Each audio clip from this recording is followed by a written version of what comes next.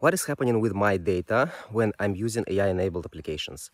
This is a question I often receive during the applied AI trainings. And the answer to the question is, is the following. If you are using uh, any type of application which is saying that it's using uh, OpenAI ChatGPT model and uh, let's say any other models from provided by OpenAI, then 99% probability this data which you are which you are pasting or let's say uploading uh, to this application can be anything from uh, text data in the form of prompts.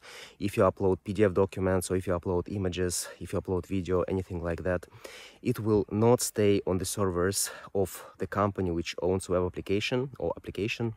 Uh, it goes to OpenAI. Since OpenAI invested uh, a lot of uh, a lot of money into development of all these models and all these capacities, it's not given it for free to anyone because it's just if you have a model, it's quite easy to then uh, use it for your own benefit and to, to become basically the owner of this model. So OpenAI is not letting anyone uh, to have uh, to have this model and this possibility.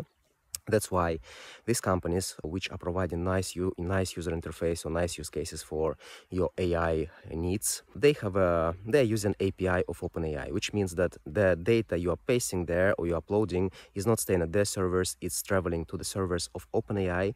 And here it all depends where the servers are located. Most probably it's in the United States, so you can assume that the data which you paste into these applications, which are not built by OpenAI, but they use uh, ChatGPT models in the background, they send all the data uh, to, let's say, California or somewhere in the, in the United States, and this data stays there. Another question is what's happening with this data there, and this will be the topic of my next video.